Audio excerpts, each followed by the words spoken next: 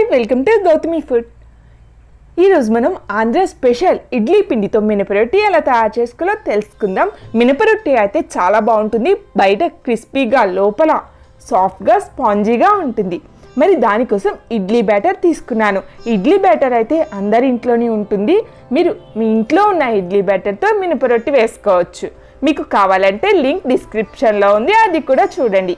ఇడ్లీ బ్యాటర్లో తగినంత ఉప్పు వేసుకోవాలి. ఉప్పు వేసుకుని కలుపుకోవాలి.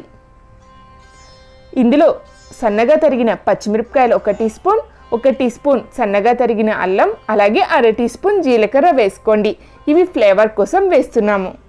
ఇవన్నీ వేసుకుని బాగా కలిసేలా కలుపుకున్న తర్వాత స్టవ్ వెలిగించి ప్యాన్ పెట్టి ప్యాన్లో ఒక టేబుల్ స్పూన్ ఆయిల్ వేసుకోవాలి.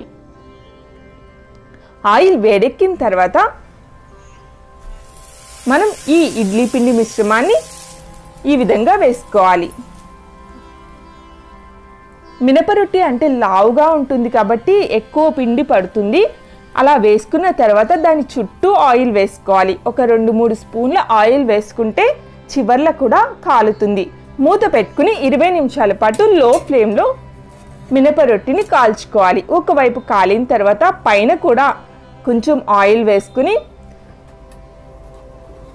వేరే వైపుకి టర్న్ చేసుకుంటూ ఒక పది నిమిషాలు. ఇంకా మూత పెట్టాల్సిన అవసరం లేదు. దాని చుట్టూ కూడా ఆయిల్ వేసుకుని రెండో వైపు కూడా కాల్చుకోవాలి. ఇలా పది నిమిషాల తర్వాత నాకు రెండో వైపు కూడా కాలిపోయింది. మనకి మినపరొట్టి రెడీ అయిపోయింది. మినపరొట్టి మనకి కొబ్బరి చట్నీ అల్లం చట్నీ సాంబార్ ఇలా దేనికైనా సరే చాలా బాగుంటుంది. బయట క్రిస్పీగా లోపల స్పాంజీగా చాలా టేస్టీగా కూడా ఉంటుంది.